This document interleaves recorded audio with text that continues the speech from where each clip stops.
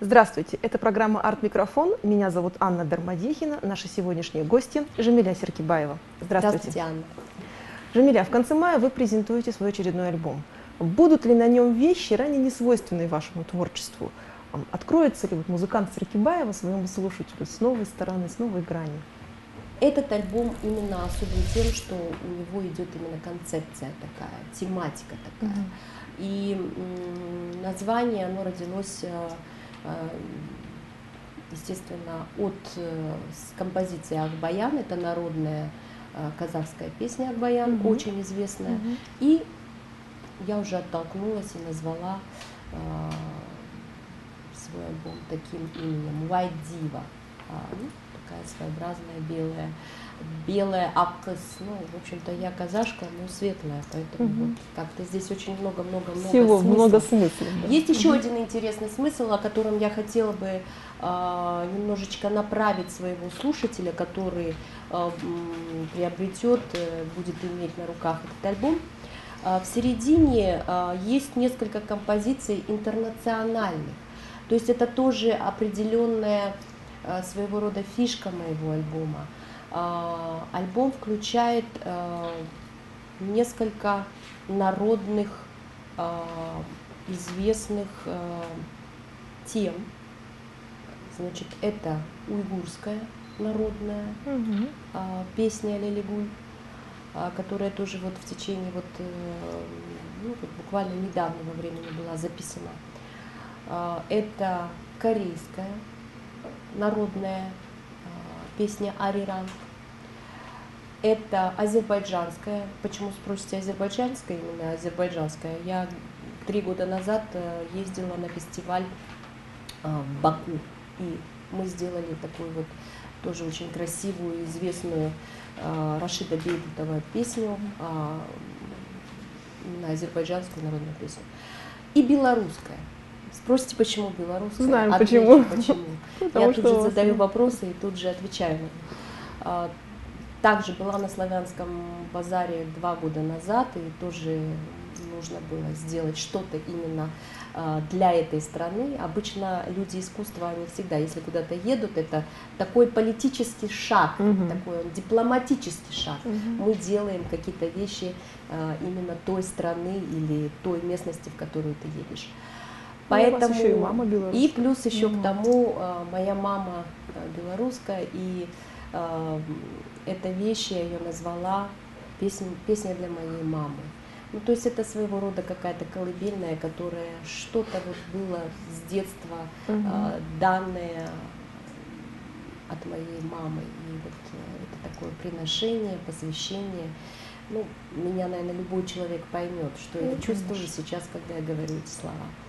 Поэтому э, сам диск, он, конечно, несет тематику э, нашей страны, э, нашей, нашего народа, э, нашей культуры, э, но и в то же время он включает э, те, э, тот интернациональный такой колорит, потому что в нашей стране живут э, и другие угу. национальности, которые э, ну, своего рода миксуются с нашей музыкой, потому что это такой процесс, без которого, наверное, не было бы вообще хорошей музыки в нашей стране.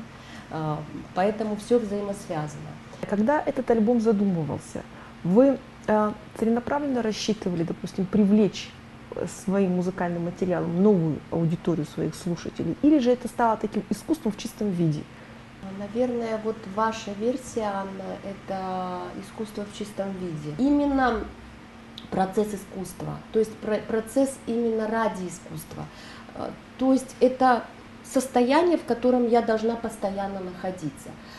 А, а потом уже второе, третье – это э, выход альбома, выход клипа. Mm-hmm. То есть я должна делать материал.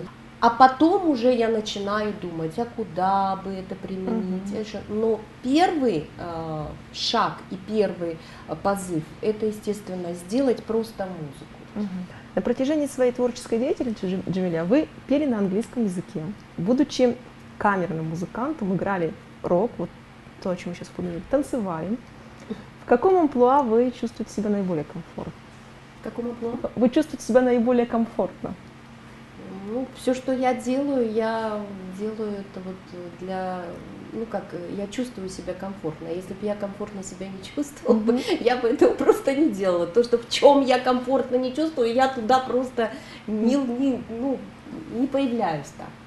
В альбоме будет несколько композиций моих вокальных. А, у всех есть вопросы по этому поводу. У кого-то, может быть, они исчерпались, у кого-то они остались. Кто-то мне задает вопрос, почему вы поете, зачем вы поете. Я обычно отвечаю на этот вопрос так. А вокал – это как дополнение к моему инструменту. Угу. То есть это разнообразие. Это вы сказали, а, вы танцуете, вы там играете, играете рок и джаз и все так. То есть я просто скрипку дополняю разными э, какими-то вот э, ну спектром, расширяю угу. этот спектр. Почему? Я объясню. Наш слушатель, зритель избалован. Я так сдерживаюсь, что-то сказать еще более грубое. В том плане, что мы пытаемся его, конечно же, развлечь. Пусть это немножко как-то некрасиво, не этично звучит, мы там, ну как бы, что мы развлекаем публику, но по сути своей музыканты издавна, с древних времен, это, в общем-то, люди, которые развлекали публику, если изначально взять историю. Ну, да. То есть сейчас, да, конечно, музыкантов возвышают, они более такие недоступные стали, то есть есть какие-то современные такие навороты, но по сути своей они должны давать людям праздник. Поэтому я могу играть и на скрипке, и вот в этом альбоме есть mm-hmm. все. Но в любом случае, конечно, он объединен, ну, все-таки таким языком современной такой подачи казахской музыки. Mm-hmm. Это не исток, то есть я исток даю просто как в цитате, идет цитата, допустим, Сары Арки Курмангазы, и потом идет такой, знаете, арт-хаус звучит. Угу. И плюс к тому еще наложение скрипки. Опять же, это уже опять новая подача. Ну вот э, это мне нравится, потому что это, я считаю, мое, индивидуально, угу. а это очень, я считаю, важно. На мой взгляд, ваше раннее творчество было ориентировано, ну, сейчас мое субъективное мнение, было ориентировано больше на западный рынок. Вот сейчас больше на внутренний рынок. А, с чем это связано, Джамиля? Тем, что как-то вот все-таки скрипка это несколько элитарный инструмент, это не гитара, это не фортепиано, которые все-таки более доступны. На ваш взгляд, мы как-то культурно выросли за это время и стали воспринимать лучше скрипичную музыку? Вот э, от, у нас есть как бы стандарт, это классический инструмент, uh-huh. с которого, в общем-то, я начала, и база моя классическая, это э, окончание там консерватории, uh-huh. музыкального колледжа, э, школы музыкальной, э, это классика. Потом у меня пошел отход, это джаз, то есть я немножечко отошла от классики. Это был один из важных шагов в моем э, творчестве. Я могла бы остаться в классике, если бы какие-то события не возникли в моей жизни. Играла бы я в оркестре, была бы солисткой оркестра. Я это делаю, но это идет как основа, она идет постоянно. То есть я даю и классические концерты, являюсь солисткой концертного оркестра Акима города Алматы, я являюсь э, солисткой Министерства обороны, э, биг-бенда большого. И поэтому э, это вот основа классика, хотя вот уже джаз, ответвление идет.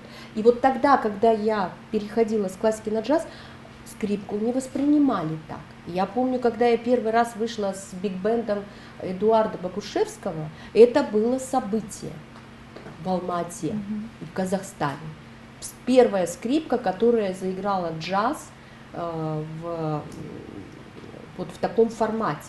Хотя я не первая вообще, потому что э, моими идеалами, и сейчас до сих пор это осталось, в джазе это Стефан Граппелли, Жан-Люк Панти, Потом я немножечко, если вот э, я понимаю, о чем вы говорите, это была группа Forest Gump, э, и мы сделали рок. И вот, вот этот шаг, именно шаг к року со скрипкой, и еще плюс в этот же момент мы сделали э, два кюя с Forest Gump, с рок-командой, выступили на стадионе, с двумя кюями, с Аржаля и с РРК, угу. именно в рок-обработке. И мы были первыми.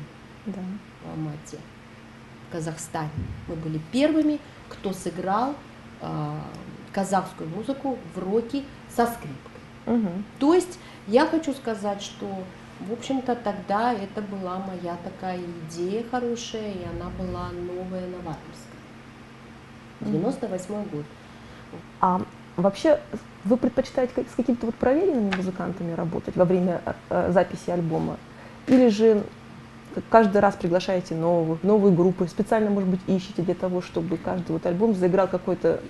Мгм. Есть основные музыканты, с которыми я э, работаю, это и Рейс 09, это и аранжировщики основные, но я очень рада всегда, когда в моей жизни появляется кто-то новый. Ну вот э, в данный момент вот э, выпуск этого альбома, там очень много нового. Это и еще раз я говорю, музыканты, которые э, работают в Уйгурском театре. Мгм. Именно инструменты особенные, там азербайджанская музыка, то же самое.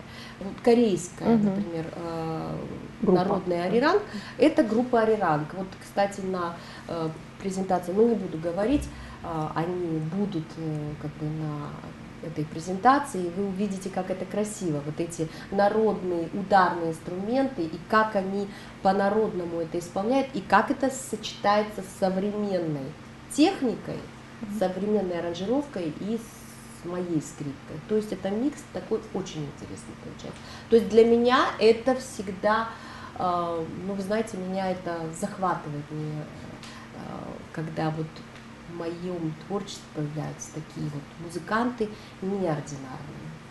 Какие мероприятия планируются в поддержку альбома? Допустим, сольный концерт. Один концерт обязательно будет, если не два, потому что у меня планируется э, сольный концерт с отцом, со- с, э, это вот э, оркестр Акима города Алматы, я там являюсь солисткой, с ним будет сольный концерт классический, но немного, очень большая часть джазового репертуара там будет, это тоже, э, в общем-то, такого материала у нас в Казахстане не было. Тут с оркестром джаз и, и скрипка джазовая. Мгм. Вот такой готовится концерт.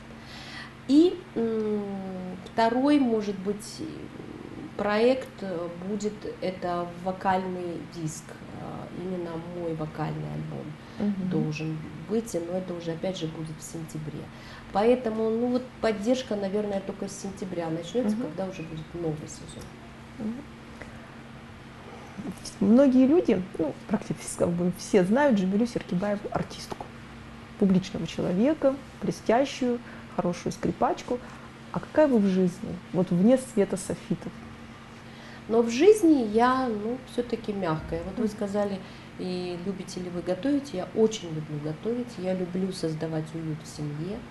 Я люблю заниматься дизайном а, своего там дома, в котором, в квартире, в которой я живу, а, декором. То есть Мгм. меня это успокаивает.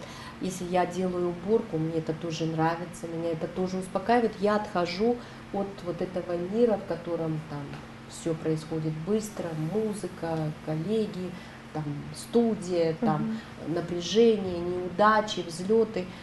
Я могу два дня быть дома, приводить порядок, наслаждаться чистотой в доме, там вкусно приготовить и самой покушать вкусно.